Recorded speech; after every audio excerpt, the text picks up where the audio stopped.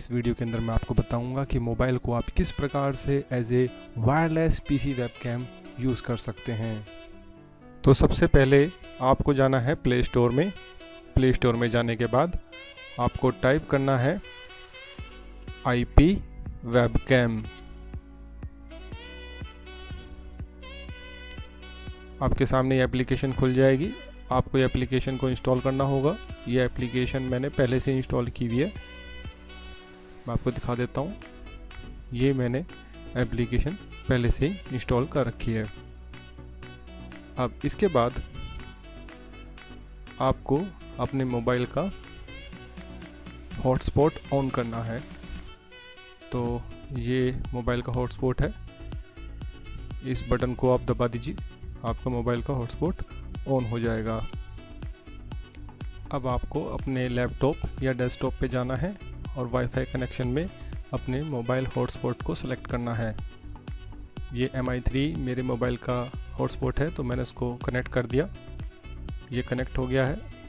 और अब इसमें ये ज़रूरी नहीं कि आपको इंटरनेट चाहिए, बिना इंटरनेट के भी आप हॉटस्पॉट बना सकते हैं। देख लीजिए।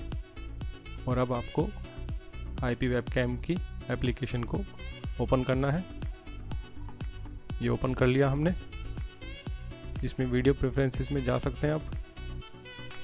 वीडियो प्रेफरेंसेस में अच्छी क्वालिटी के लिए 720p को सिलेक्ट कर लीजिए। सिलेक्ट करने के बाद नीचे जाएँगे और स्टार्ट सर्वर पे क्लिक करना है आपने। और ये आपका मोबाइल का कैमरा ऑन हो जाएगा।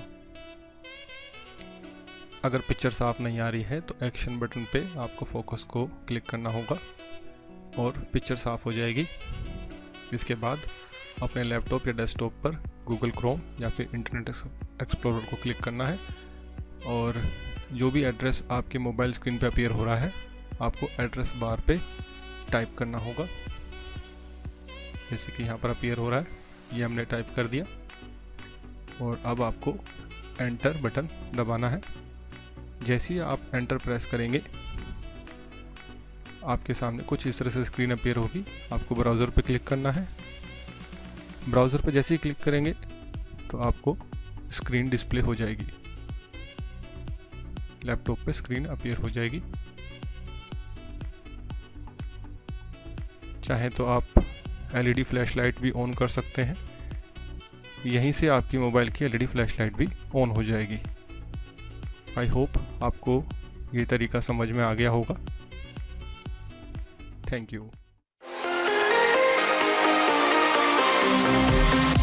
Thank you.